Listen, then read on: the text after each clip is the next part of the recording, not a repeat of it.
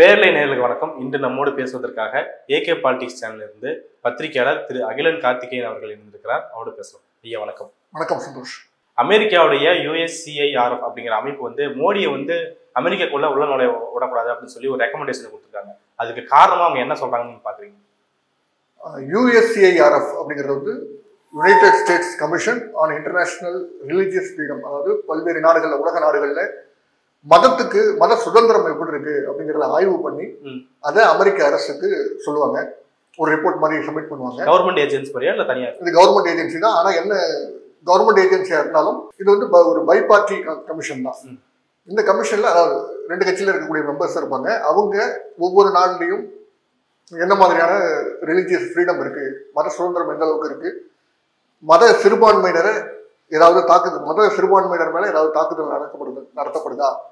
அப்படிங்கறதெல்லாம் ஆய்வு செஞ்சு ரிப்போர்ட்டா கொடுப்பாங்க.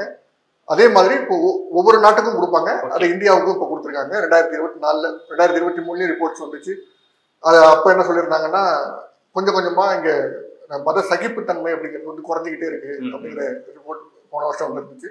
இப்போ மீண்டும் ரெண்டாயிரத்தி இருபத்தி நாலுல மத சுதந்திரம் அப்படிங்கிறது வந்து பெரிய அளவுல இந்தியாவுல பாதிக்கப்பட்டிருக்கு அப்படிங்கிறத சொல்லி அதற்கு நிறைய காரணங்கள்லாம் சொல்றாங்க. இந்த காரணத்துலாம் சொல்லிட்டு ரெக்கமெண்டேஷன் கொடுக்குறாங்க. கவர்மெண்ட்டுக்கு ரெக்கமெண்டேஷன் இதெல்லாம் பண்ணா அஹ், இந்தியாவுல மத சுதந்திரத்தை மீட்க முடியும் அப்படிங்கிற மாதிரியான சில ரெக்கமெண்டேஷன்ஸும் அந்த அரசுக்கு கொடுக்குறாங்க. அமெரிக்காவில் ரெக்கமெண்டேஷன் கொடுத்து இந்தியாவில் என்ன நடக்க போகுது அப்படிங்கிற கேள்வி எழும். இந்த ரெக்கமெண்டேஷன்ஸ் வந்து இங்க இருக்கக்கூடிய தலைவர்கள் இப்ப.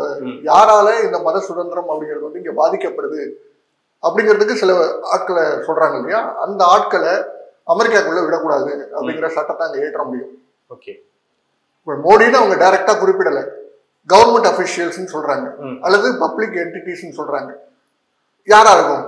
யார் இந்த சட்டத்தை ஏற்றுறது அரசுக்கு தலைமை தாங்க. அரசு யார் தலைமை தாங்குறாங்களோ அவங்க தான் ஆட்டோமேட்டிக்கா அந்த சட்டத்தை ஏற்றவங்களா இருக்கிறாங்க. அப்போ மோடியை தான் அவங்க ரெக்கமெண்ட் பண்றாங்க. மோடியை அமெரிக்காக்குள்ள விடக்கூடாது அப்படிங்கிற ரெக்கமெண்டேஷனை கொடுக்குறாங்க. சரி என்னென்ன பிரச்சனைகள் இந்தியாவில் இருக்கு அப்படிங்கறத அந்த ரிப்போர்ட் சொல்லுது அப்படின்னு பார்த்தோம்னா ரெண்டு வகையில பிரிச்சுக்கிறாங்க. ஒண்ணு லீகலா சிஸ்டமேட்டிக்கா அரசு சில வேலைகளை செய்யுது. அது மத சுதந்திரத்தை பறிக்குது. இது ஒண்ணு. ரெண்டாவது இல்லீகலா நிறைய விஷயங்கள் நடக்குது. இதுவும் மத சுதந்திரத்தை பறிக்குது. இப்படி ரெண்டு பிரிவா அவங்க பிரிச்சுக்கிறாங்க. முதல்ல இந்தியாவோட கான்ஸ்டிடியூஷன் என்ன சொல்லுதுன்னா ஆர்டிகல் டுவெண்ட்டி ஃபைவ்ல யார் வேணாலும் எந்த மதத்தை வேணாலும் ஃபாலோ பண்ணலாம். அந்த மதத்தை சேர்ந்தவன் அப்படிங்கிறத வெளிப்படையா சொல்லலாம். அந்த மதத்தை பிறருக்கு பரப்பலாம். இந்த உரிமைகளை ஆர்டிகல் டுவெண்ட்டி ஃபைவ் கொடுக்குது. அப்போ மத சுதந்திரம் அப்படிங்கிறது வந்து இந்தியன் கான்ஸ்டிடியூஷன்லயே இருக்கு. ஆனா நடைமுறையில இருக்கா அப்படிங்கிறது தான் இந்த ரிப்போர்ட் ஆய்வு செஞ்சிருக்கு.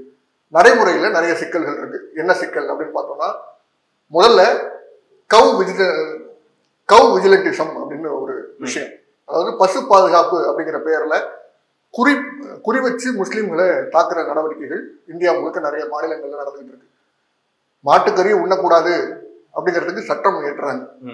இருபத்தெட்டு மாநிலங்கள்ல கிட்டத்தட்ட பன்னெண்டு மாநிலங்கள்ல மாட்டுக்கறிக்கு தடை விதிக்கப்பட்டிருக்கு.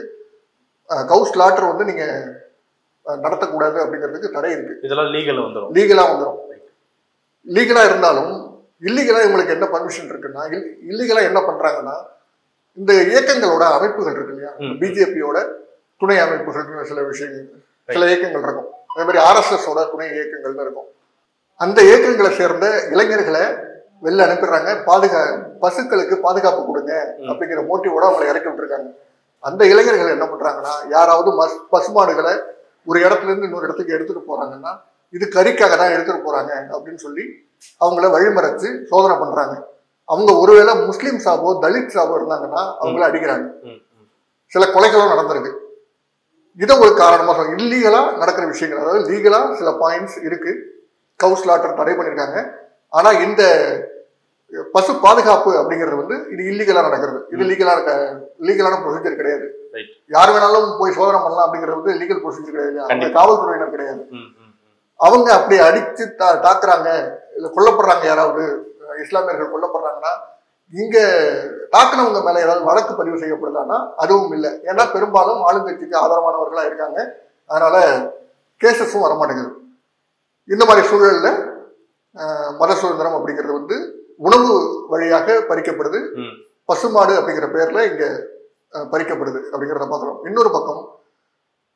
கிறிஸ்டியன்ஸ் குறி வைக்கப்படுறாங்க அவங்க எப்படி குறி வைக்கப்படுறாங்கன்னா கன்வர்ஷன் பண்றாங்க. ம், ம், ம். இந்துக்களை கிறிஸ்துவர்களா இந்துக்களை கிறிஸ்துவர்களா மாத்திக்கிட்டு இருக்காங்க? கட்டாயப்படுத்தி மாத்துறாங்க அப்படிங்கிற குற்றச்சாட்டுலாம் வைக்கிறாங்க. உதாரணத்துக்கு சத்தீஸ்கர் மாநிலத்துல அதிக அளவுல பழங்குடியின மக்கள் இருக்காங்க. பழங்குடியின மக்கள் ஏற்கனவே பாதிக்கப்பட்டிருக்காங்க. அவங்களுக்கு சர்ச் வழியா நிறைய உதவிகள் கிடைக்குது.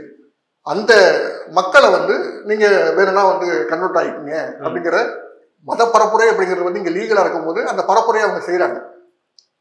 கிறிஸ்தவர்கள் கட்டாயப்படுத்தி அவங்கள மத மாற்றம் செய்யல. பரப்புரை செய்றாங்க விருப்பப்பட்டவங்க வந்து மதம் மாறிக்கிறாங்க. ஆனா இதுதான் என்ன சொல்றாங்கன்னா அந்த ஆர்டிகல் டுவெண்ட்டி ஃபைவ் வந்து இவங்க தவறா பயன்படுத்துறாங்க. டேக் இட் ஃபார் அட்வான்டேஜ் மாரி அட்வான்டேஜா எடுத்துக்கிட்டு அங்க கட்டாயமா பண்றாங்கன்றதான் குற்றச்சாட்டா இருக்கு. இல்ல கட்டாயமா பண்ணலங்கிறது தான் அது. நீங்க வந்து எந்த மதத்தை வேணாலும் பரப்பலாம். நீங்க ஹிந்து மதத்தை பரப்புறீங்களா? பரப்புங்க. பிற மதத்துல இருக்கிறவங்கள உங்க மதத்துல சேர்த்துக்கிறனா சேர்த்துங்க எந்த கேஸ்ட்ல சேர்ப்பீங்க? எல்லாரும் வந்து பிராமின்ஸ் ஆயிடலாமா? இந்த கேள்வியெல்லாம் இருக்குல்ல. அவன் வந்து இப்போ கிறிஸ்துவர்கள் வந்து மதம் மாத்துறாங்கன்னா அங்க கேஸ்ட் குரூப் அப்படிங்கிறது வந்து தனித்தனியா இல்லை. அதாவது இந்து மக்கள் இந்துக்கள் வந்து மதம் மாறும்போது இந்த கேஸ்ட் அங்க எடுத்துட்டு போறாங்களே தவிர கிறிஸ்துவ மத அஹ், படி உங்களுக்கு அங்க கேஸ்ட் அப்படிங்கிறது ஒண்ணு கிடையாது. இவங்க அங்க இருக்கக்கூடிய அட்வான்டேஜஸ் இல்லைன்னா அங்க ஏதாவது உதவிகள் கிடைக்கும் அப்படிங்கிறத சொல்லி இங்க மதம் மாத்துறதுக்கான முயற்சிகளை பண்றாங்க. அந்த அந்த பரப்புரையை அவங்க செய்யலாம். அதற்கான உரிமைகள் உண்டு. அப்படி செய்யறது தான் இவங்க கட்டாய மத மாற்றம்னு சொல்லி. சத்தீஸ்கர்ல இருக்கக்கூடிய தேவாலயங்களை அடிச்சு நொறுக்குறாங்க. அங்க இருக்கக்கூடிய கிறிஸ்டியன்ஸ் அதாவது அந்த மத போதனையை செஞ்சவங்களையும் அடிக்கிறாங்க தாக்குறாங்க. இதுவும் இந்த பக்கம் நடந்துகிட்டு இருக்கு. இது மத மாற்றம் கன்வர்ஷன் அப்படிங்கிற பேர்ல நடக்கக்கூடிய வன்முறை. தமிழ்நாட்டுல கூட அண்ணாமலை பண்ணியிருந்தார் மைக்கேல் பட்டி விஷயத்தை வச்சு. ஆமா. இந்த கன்வர்ஷன் அப்படிங்கிறது லீகலா நடக்குதான்னா லீகலா வந்து. ஆன்டி கன்வர்ஷன் லான்னு இருக்கு. ஓகே. நிறைய மாநிலங்கள் வந்து கன்வெர்ட் பண்ணக்கூடாது கன்வெர்ட் ஆகக்கூடாது அப்படிங்கிறதுக்கு சட்டங்கள் ஏற்றி வச்சிருக்காங்க. அப்ப அது கான்ஸ்டியூஷனுக்கு எதிரான தெரியாதா இல்ல சட்டம் ஏற்றிட்டாங்க. ஒப்புதல் வழங்கிட்டாங்க குடியரசுத் தலைவரும். ஏற்றியாச்சு. கண்டிப்பா. அஹ், முறையிட்டீங்கன்னா அதுக்கான. மாற்று தீர்ப்புகள் கூட வரலாம். ஆனா முறையிட்டிருக்காங்களா அப்படிங்கிறது தெரியல. உதாரணத்துக்கு நம்ம பிஜேபியை குறை சொல்லிட்டு இருக்கோம். காங்கிரஸ் ஆளுகின்ற ஹிமாச்சல பிரதேஷ்ல மதமாற்ற தடை சட்டம் இருக்கு. அங்கே எந்த மாதிரியான தடை சட்டம் இருக்குன்னா ஒரு நபர் இப்ப நான் போய் மதம் மாறணும். நான் வேற ஒரு மதத்துக்கு மாறலாம்னா மாறணும் அப்படின்னா மாறலாம். நானும் இன்னொரு பையனும் இப்போ ரெண்டு பேரும் சேர்ந்து போய் மதம் மாறணும்னு சொன்னா ஒத்துக்க மாட்டாங்க. அது மாஸ் கன்வர்ஷன் ஓகே இப்போ ஒருத்தர் போறா குடும்பம் போறது தானே வழக்கமா இருக்கும்? இல்ல அப்படிதான் நடக்கும். அதை அதை தடுக்கிறது தான் இது. இப்போ ஒவ்வொரு ஆளும் தனித்தனியா வந்து மதம் மாறிக்கீங்க அப்படிங்கிறத என்கரேஜ் பண்றது தான் அது Right. கூட்டமா சேர்ந்து மதம் மாறாதீங்க. இது வினோதமா இருக்கு? விரோதமானதா இருக்கு. இதை விட இன்னொரு கொடுமை என்னன்னா மதம் மாறினவங்க ரிசர்வேஷன்ஸ் போன்ற பெனிஃபிட்ஸை பயன்படுத்தக்கூடாதுங்கிறாங்க. ஓ. இது ஹிமாச்சல பிரதேசத்துல சட்டமா இருக்கு ஆன்டி கன்வர்ஷன்லால இதை ஆட் பண்ணிருக்காங்க. ரைட் ரைட் நீங்க ஹிந்துவா இருந்து பாதிக்கப்பட்டதுனால தான் வேற ஒரு மதத்துக்கு மாறுறீங்க.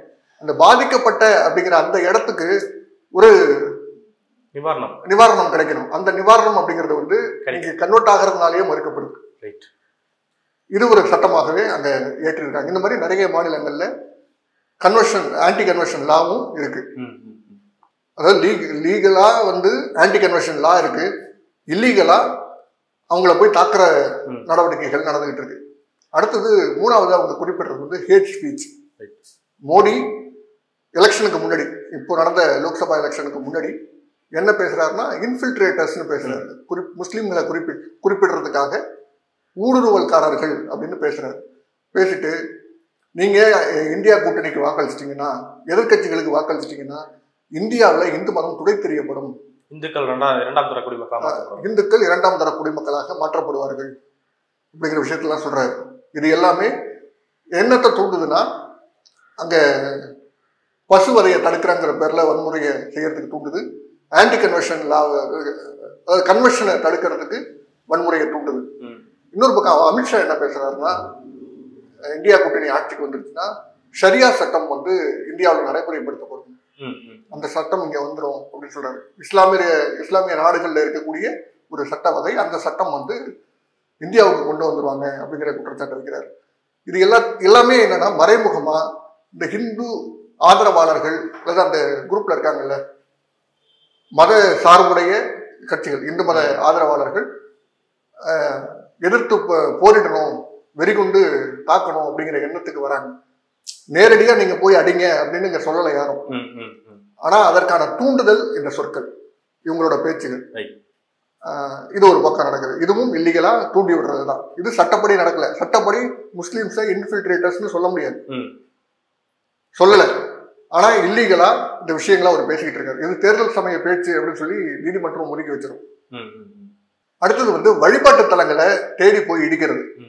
இந்த இப்ப வந்து ஒரு மசூதி இருக்கு. அந்த மசூதிக்கு கீழே ஏற்கனவே எங்களோட கோயில் இருந்துச்சு.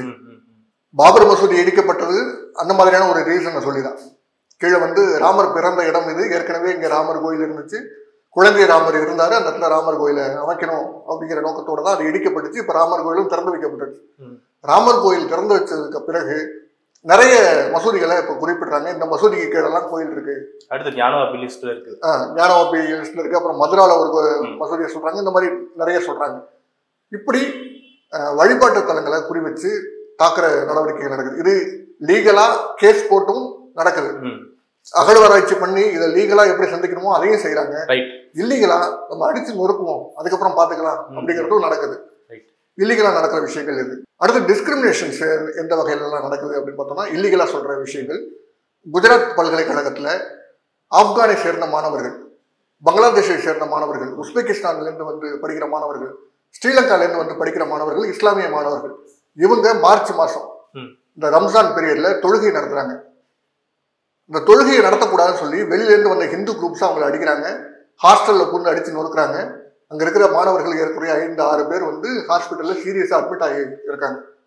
நம்ம ஊர் மாணவர்கள் அடிக்கிறது குற்றம். அதுவே வந்து அதுவே சட்டப்படி தப்பு அப்படிங்கும்போது வெளிமா வெளியூர்ல இருந்து வந்து இங்க படிக்கிறாங்க. வெளிநாடுகள்ல இருந்து இங்க வந்து படிக்கிறாங்க. அவங்களுக்கான பாதுகாப்பு அப்படிங்கிறது வந்து எந்த இடத்துல இருக்கு அப்படின்னு பார்க்கணும். வெளியுறவு கொள்கை அப்படிங்கிறது வந்து மாணவர்களையும் சேர்த்துதான். மாணவர்களுக்கான பாதுகாப்பையும் சேர்த்துதான். இந்த இடத்துல வெளியுறவு கொள்கையிலையும் இந்தியா தோற்று போயிருக்கு அப்படிங்கிறத பார்க்கணும். அடுத்தது வந்து அசாம்ல ஒரு பள்ளிக்கூடம். கத்தோலிக் கிறிஸ்டியன்ஸ் நடத்தக்கூடிய ஒரு பள்ளிக்கூடம். கிறிஸ்டியன் பள்ளிக்கூடமா இருந்தாலே அந்த இயேசுநாதருடைய படம் சிலுவைகள் இப்படி நிறைய இடத்துல சிம்பிள்ஸ் இருக்கும். அந்த சிம்பிள்ஸ்லாம் வைக்கக்கூடாது. அது வந்து ஒரு தனியார் பள்ளி. ஓகே. ஒரு ட்ரஸ்ட் நடத்தக்கூடிய பள்ளி.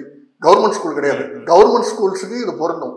Right. ஆனா கவர்மெண்ட் ஸ்கூலுக்கு நம்ம வந்து நிறைய பண்ணிட்டு எல்லாருடைய படங்களும் இருக்கும். இந்து தெய்வங்களோட படங்கள்லாம் இருக்கும். வரிசையா வச்சு மாலை போட்டு வச்சிருப்பாங்க. நிறைய பள்ளிகள்ல அது இருக்கு. அப்படி இருக்கும்போது ஒரு தனியார் ட்ரஸ்ட் நடத்தக்கூடிய அந்த பள்ளியில அவங்க எங்க இருந்து ஃபண்டு வாங்குறாங்களோ எது சார்ந்து அவங்க ஃபண்டு வாங்குறாங்களோ அந்த மத கொள்கையை அவங்க வச்சிருக்காங்க. சிம்பிள்ஸை வச்சிருக்காங்க. அதை அடிச்சு நொறுக்குறாங்க. இந்த மாதிரி இல்லீகலா நிறைய விஷயங்கள் நடக்குது அப்படிங்கிறத சொல்லி இல்லீகல் பார்ட்ஸ் இது. அடுத்து அலகாபாத் உயர்நீதிமன்றம். உத்தரப்பிரதேசத்தில் இருக்கக்கூடிய அலகாபாத் உயர்நீதிமன்றம் ஒரு தீர்ப்பு வழங்குச்சு. அது என்ன தீர்ப்புனா உத்தரப்பிரதேசத்தில் இருக்கக்கூடிய இஸ்லாமியர்கள் நடத்தக்கூடிய பள்ளிகள் அதாவது இந்த மதராசா அப்படிங்கிற அவங்களோட கட்டுப்பாட்டில் இருக்கக்கூடிய நிறைய பள்ளிகள் இருக்கும். தமிழ்நாட்டிலேயே நிறைய இஸ்லாமிய பள்ளிகள் இருக்கு. இந்த ஓரியண்டல் ஸ்கூல்ஸ்னு சொல்லுவாங்க. அந்த மாதிரியான பள்ளிகள் உத்தரப்பிரதேசத்தில் நிறைய இருக்கு. அந்த பள்ளிகளை வந்து மதராசா கவர்ன் பண்ணக்கூடாது அப்படின்னு சொல்லி அந்த பள்ளிகளுக்கு தடை விதிச்சது அலகாபாத் உயர்நீதிமன்றம். தடை விதிச்சுட்டு அங்க இருக்கக்கூடிய மாணவர்களை கவர்மெண்ட் ஸ்கூல்ஸ்ல போட்டுருங்க. யூபியில் இருக்கக்கூடிய கவர்மெண்ட் ஸ்கூல்ஸ்ல மாத்துருங்க அப்படிங்கிற ஒரு சட்டத்தை போட்டுச்சு. ஒரு தீர்ப்பை வழங்குச்சு. அந்த தீர்ப்புக்கு எதிராக சுப்ரீம் கோர்ட் அந்த தீர்ப்பை ஸ்டே பண்ணிடுச்சு. இப்படிலாம் நீங்க சொல்லக்கூடாது அப்படின்னு சொல்லி ஸ்டே பண்ணிட்டு. ஓகே.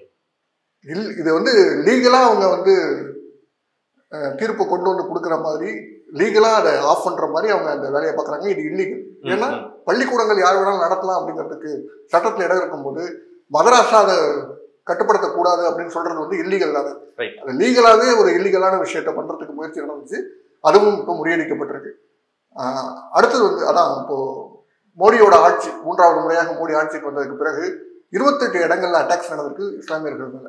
ஓகே. அதுவும் இப்போ ஜூன் மாதத்திலிருந்து ஆகஸ்ட் மாதத்துக்குள்ள இந்த மூன்று மாதங்கள்லயே இருபத்தெட்டு அட்டாக்ஸ் முஸ்லீம்ஸ் மேல நடந்திருக்கு. ரைட் இது எல்லாமே இல்லீகலா நடந்த விஷயங்கள். அடுத்து லீகலா சட்டப்படி இந்த அரசு என்னென்ன செய்யுது? இந்த மத சுதந்திரத்தை பறிக்கிறதுக்கு என்ன செய்யுது அப்படின்னு பார்த்தோம்னா ரெண்டாயிரத்தி பத்தொன்பதுலேயே சிட்டிசன்ஷிப் அமெண்ட்மெண்ட் ஆக்ட் சிஏஏ சட்டம் கொண்டு வரப்பட்டுச்சு. அதற்கான ரூல்ஸை வந்து இப்போ ரெண்டாயிரத்தி இருபத்தி நாலில் வெளியிட்டாங்க.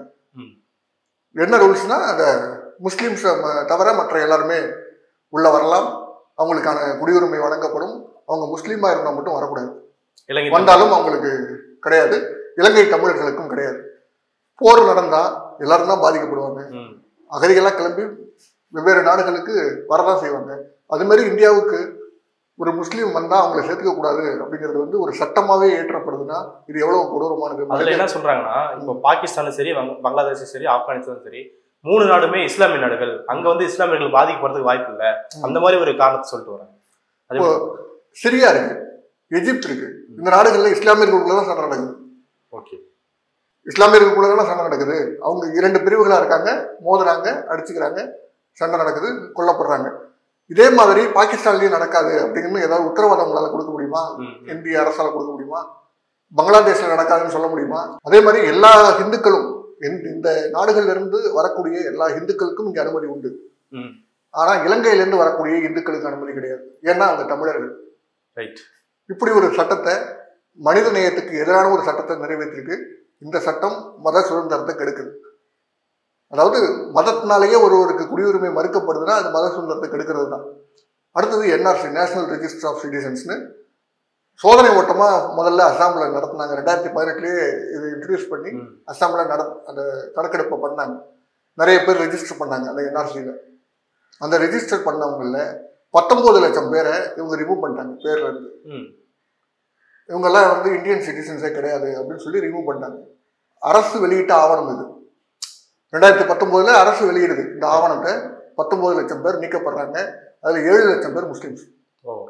அஞ்சு லட்சம் பேர் பெங்காலிலேருந்து அதாவது வெஸ்ட் பெங்கால்ல இருந்தும் அஹ், வெஸ்ட் பெங்கால்ல இருந்து அஸ்ஸாமுக்கு குடியேறினவங்க அல்லது பங்களாதேஷ்ல இருந்து அஸ்ஸாமுக்கு குடியேறின ம் இரண்டு லட்சம் பேர் அங்கேயே அஸ்ஸாம்லயே பூர்வ குடிகளா இருக்கக்கூடிய இந்துக்கள் ஓகே. இப்படி உள்ள இருக்கிறவங்களையே நீக்கிறதுக்கான வழிமுறைகளை இந்த என்ஆர்சி செய்யுது. இது மட்டும் இல்லாம இப்போ ரீசெண்டா ஜூலை மாசத்துல ஒரு ரிப்போர்ட் இருக்கு. அந்த ரிப்போர்ட்ல இருபத்தெட்டு பேர் ஐடென்டிஃபை பண்ணி அவங்க எல்லாரும் வந்து இந்திய குடி குடிமக்களே கிடையாது. அப்படின்னு சொல்லி நீக்கியிருக்கு அரசாங்கம் ரைட் கேம்ப் அடைச்சிருவாங்க போய். இந்த கேம்ப்ல கொண்டு போய் அடைச்சு வச்சிட்டாங்க அவங்கள. ரைட் இருபத்தெட்டு பேரை. அவங்க வந்து இந்தியர்கள் கிடையாதுன்னு சொல்லி. அந்த பத்தொன்பது லட்சம் பேரை வந்து ஹோல்டு பண்ணியிருக்காங்க. இன்னும் அவங்களுக்கும் என்ஆர்சிங்கிற அந்த சர்டிஃபிகேட் வந்து கொடுக்கப்படல. பத்தொன்பது லட்சம் பேர்ல இருந்து இருபத்தெட்டு பேர் செலக்ட் பண்ணி அவங்கள இந்தியர்கள் கிடையாதுன்னு சொல்லி அந்த கேம்ப்ல அடைச்சு வச்சிருக்காங்க. இது ஒரு பக்கம் நடக்குது. அடுத்தது என்னன்னா இந்த யூனிஃபார்ம் சிவில் கோட் அதை கொண்டு வரதுக்கு இந்தியா முயற்சி பண்ணிக்கிட்டு இருக்கு. எல்லா மதத்தினருக்கும் ஒரே சட்டம் அப்படிங்கிறத கொண்டு வரதுக்கு முயற்சி பண்ணிக்கிட்டு இருக்கு. இதுல நிறைய சிக்கல்கள் இருக்கு அப்படிங்கிறத தொடர்ந்து பேசிக்கிட்டு இருக்கோம். அடுத்தது யுஏபிஏ சட்டம். அன்லாஃபுல் ஆக்டிவிட்டிஸ் ப்ரிவென்ஷன் ஆக்ட் அப்படிங்கிற அந்த சட்டத்தின் கீழே நிறைய பேர் கைது பண்ணப்படுறாங்க குறிப்பா ஜேர்னலிஸ்ட் ஆக்டிவிஸ்ட் ம். இல்லைன்னா ரிலீஜியஸ் மைனாரிட்டிஸ் இவங்க தான் குறிவச்சு கைது செய்யப்படுறாங்க. அவங்க வெளியிலேயே வர முடியல. ஐந்தாறு வருஷமா உள்ள இருக்கிறவங்களோட நிறைய பேர் வந்து உள்ள இருக்காங்க. இந்த சட்டத்தின் கீழே கைது பண்ணப்பட்டவங்க. இப்படி ஒரு கொடூரமான மனித உரிமைக்கு எதிரான ஒரு சட்டம் யூஏபிங்கிற போராட்டத்தை வந்து தொடர்ந்து பல்வேறு மனித உரிமை அமைப்புகள் பண்ணிட்டு இருக்காங்க. இது ஒரு புறம். இதையும் அந்த ரிப்போர்ட்ல குறிப்பிட்டிருக்காங்க. யூஏபிஏ சட்டம் வந்து ரிலீஜியஸ் மைனாரிட்டிஸை ஒடுக்குது அப்படிங்கிறத சொல்லியிருக்காங்க. அடுத்தது இந்த வகுப்பு அமெண்ட்மெண்ட் பில். இஸ்லாமியர்கள்ட்ட இருக்கக்கூடிய சொத்துக்களை கணக்கிடுறது கணக்கிடுறோம் அப்படிங்கிற பேர்ல அவங்களோட சொத்துக்களை அபகரிக்கிறது பார்க்குறது. அபகரிக்கிறதுக்கு அரசு அபகரிக்க பார்க்குது அப்படிங்கிறது தான் இந்த வகுப்பு அமெண்ட்மெண்ட் பில்லோட சாராம்சம். அதுவும் வந்து ஹோல்டில் இருக்கு. ஜாயின்ட் பார்லிமெண்டரி கமிட்டிக்கு போயிருக்கு.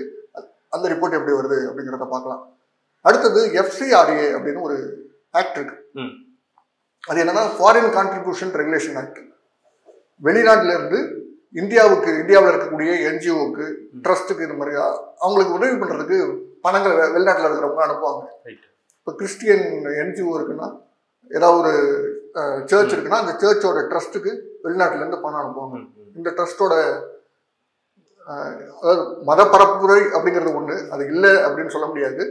அது மட்டும் இல்லாமல் அவங்க எஜுகேஷனுக்கு அவங்க செலவு பண்ணுறாங்க பல நலத்திட்டங்களுக்கு செலவு பண்ணுறாங்க மெடிக்கல் கேம்ப்ஸ் நடத்துகிறாங்க இந்த மாதிரி நிறைய விஷயங்களுக்கு வெளிநாட்டுல இருந்து பணம் பண உதவி செஞ்சு அதை ஹெல்ப் பண்ணுறாங்க இது மாதிரி நிறைய என்ஜிஓஸ் இருக்கு. மரம் நடுறதுக்குன்னு என்ஜிஓ இருக்கு.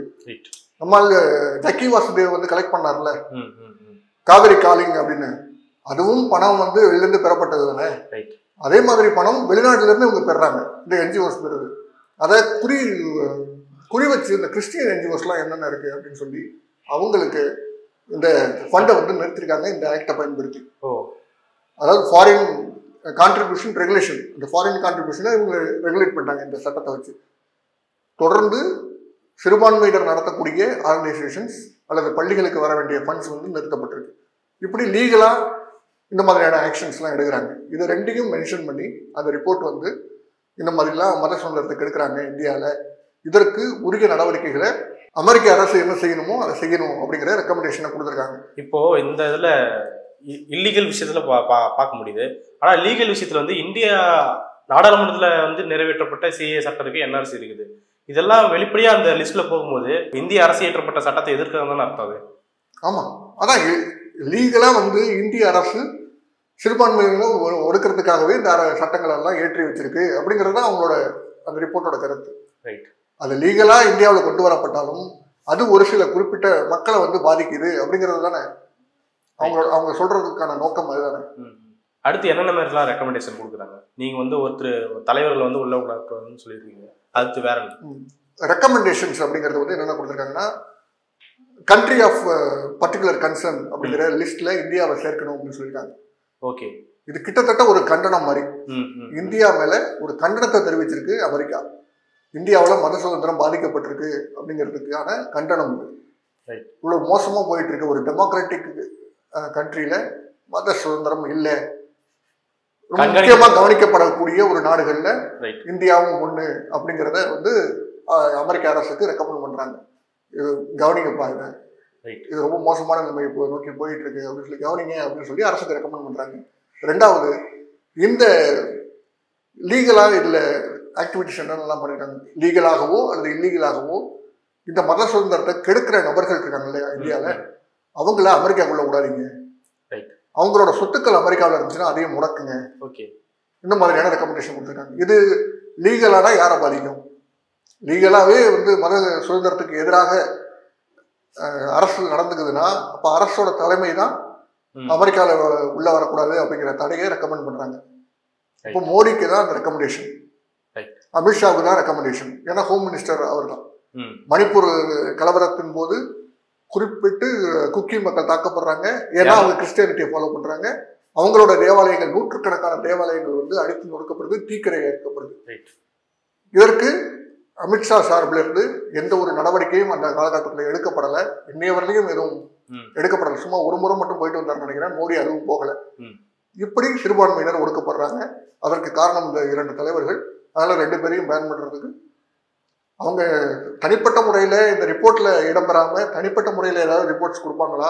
அதுல பெயர்களை மென்ஷன் பண்ணி கொடுப்பாங்களா அப்படிங்கிறது தான் தெரியல. ஆனா இந்த ரிப்போர்ட்ல governing bodies other public entities யாரெல்லாம் இதுக்கு காரணமாக இருக்கிறாங்களோ அந்த என்டிட்டிஸையும் தடை பண்ணுங்க அப்படிங்கிற ரெக்கமெண்டேஷன் கொடுக்குறாங்க அடுத்த மூணாவது ரெக்கமெண்டேஷன் என்னன்னா இந்த மத சுதந்திரம் அப்படிங்கிறது வந்து இந்தியாவில் பாதிக்கப்பட்டிருக்கு அப்படிங்கிற விஷயத்த தொடர்ந்து இரு நாட்டு தலைவர்கள் சந்திக்கும் போது பேசுங்க. பைலேட்டரல் மீட்டிங் நடக்கும். இரண்டு நாடுகளும் இப்போ அமெரிக்க மோடி வந்து இப்போ அமெரிக்கா போயிட்டு வந்தார். அதே மாதிரி பைடன் நாம இந்தியாவுக்கு வந்தார். இந்த தலைவர்கள் மீட் பண்ணும்போது இதை வலியுறுத்துங்க. அமெரிக்கா சார்பாக கலந்துக்கிறவங்க வலியுறுத்துங்க. இப்போ பைடன் இருக்காரு. அடுத்தது எலெக்ஷன் வரும்போது அதில் ட்ரம்ப் ஜெயிச்சாலும் இதே ரெக்கமெண்டேஷன் தான். கமலா ஹாரிஸ் ஜெயித்தாலும் இதே ரெக்கமெண்டேஷன் தான். அவங்க இதை வந்து பேசுவாங்க. இப்போ ஜி டுவெண்ட்டி மாநாட்டுக்கு பைடன் வந்திருந்தாரு இங்க. அப்பவும் இந்தியாவில் மத சுதந்திரம் பாதிக்கப்பட்டிருக்கிறத பத்தி மோடிகிட்ட பேசிட்டு தான் போனாரு. ஓகே. இப்போ மோடி போன போதும் இப்போ மோடி அமெரிக்கா போன போதும் அங்க வந்து இந்த அரசு முறை பேச்சுவார்த்தைகள்ல மத சம்பந்தமான டிஸ்கஷனும் இருந்திருக்கும். ஏன்னா இந்த ரெக்கமெண்டேஷன் வந்து ரெண்டு மூணு வருஷங்களாவே தொடர்ந்து இந்த இந்த அமைப்பு கொடுத்துக்கிட்டு தான் இருக்கு. அப்போ இந்த பேச்சுவார்த்தை அப்படிங்கிறது வந்து தொடர்ந்து நடந்துக்கிட்டு தான் இருக்கு. ஆனா அதோட முன்னேற்றம் அப்படிங்கிறது நடக்கல. மேலும் மேலும் இன்னும் மோசமான நிலையை எட்டி தான் இந்தியா நகர்ந்துகிட்டு இருக்கு. இப்போ இந்தியா வந்து இந்த அறிக்கையை வந்து எதிர்த்திருக்காங்க. இது வந்து அரசியல் சார்புடைய ஒரு அறிக்கையா இருக்குது. இது வந்து ஏத்துக்க முடியாது அப்படின்னு சொல்லியிருக்காங்க இது எப்படி நம்ம புரிஞ்சுக்கிறது? இல்ல அரசியல் சார்புனா அமெரிக்காவுக்கு இந்தியாவில் என்ன அரசியல் சார்பு இருக்க போகுது? மோடி தான் ட்ரம்ப் ஆதரிக்கிறேன்னு சொல்லி இங்கேருந்து போய் அங்கே பிரச்சாரம் பண்ணிட்டு இருக்காரு. போன முறையும் ஹவுடி மோடின்னு ஒரு. பிரச்சார கூட்டம் நடந்துச்சு. இப்பவும் ட்ரம்ப்புக்கு ஆதரவாக சில வேலைகள் தான் மோடி செய்கிறார் குஜராத்ல கட் அவுட்லாம் மெயின்டைன் பண்ணி நிகழ்ச்சி. குஜராத்துக்கு கூப்பிட்டு வந்து பாராட்டு விழா நடத்தாத குறையா ஒரு விஷயத்த பண்ணது. இப்போ அமெரிக்காவுக்கு போகும்போது ட்ரம்ப்பை சந்திச்சுட்டு வர்றது. இந்த மாதிரியான விஷயங்கள்லாம் தொடர்ந்து நடந்துகிட்டு இருக்கு. ட்ரம்ப் ஆதரவாளர் தான் மோடி. ஏன்னா பைடனுக்கு ஆதரவா ஏதாவது கூட்டம் நடந்திருக்கா? பப்ளிக் மீட்டிங் அப்படிங்கிறது வந்து இதுவரையும் நடந்தது கிடையாது. ஆனா ட்ரம்ப்புக்கு ஆதரவா பப்ளிக் மீட்டிங் ஒன்று நடக்குது. மோடி சார்பா நடக்குது. மோடி இந்திய மக்களுக்கு இடையே கலந்துக்கிட்டு பேசுறாரு. ட்ரம்ப் ஜெயிக்கணும். ட்ரம்ப் ஜெயிச்சா நல்லது அப்படிங்கிறத பேசுறாரு. இப்படி பேசிக்கிட்டு இருக்கும்போது மோடி தான் ட்ரம்ப்போட ஆதரவாளராக இருக்காரே தவிர இந்த ரிப்போர்ட்டை தயாரித்தவங்க ரெண்டு கட்சியை சேர்ந்தவங்க. ஓகே. இந்த அதாவது மெம்பர்ஸ் வந்து ரெண்டு கட்சியில் இருக்கிறவங்களும் இருக்காங்க. இது வந்து ஒரு தனிப்பட்ட கட்சி.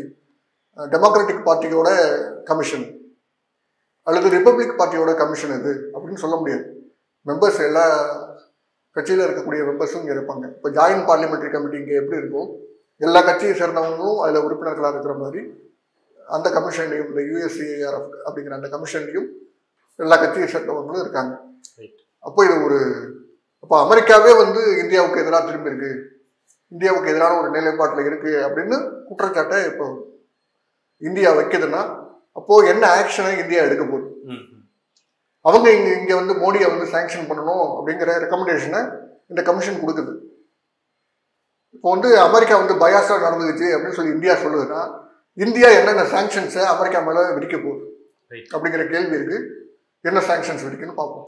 இப்போ இந்த அறிக்கை கொடுத்த இந்த மாதிரி அமைப்புகள் பண்றது ஓகே ஆனா இது வந்து உலகம் முழுக்க கவனம் பெறணும்னா யூஎன்ஓவோ இல்லை யூனிசெஃபோ இந்த மாதிரியான அங்க போய் பேசினாதான் இதுக்கான கவனம் ஈர்ப்புன்றது இருக்கும்.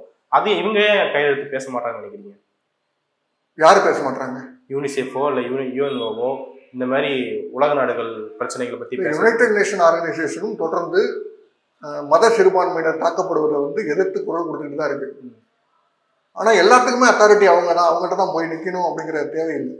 அவங்க ஏன் சொல்லலை அப்படிங்கிற கேள்வி கேட்க வேண்டிய அவசியம் இல்லை.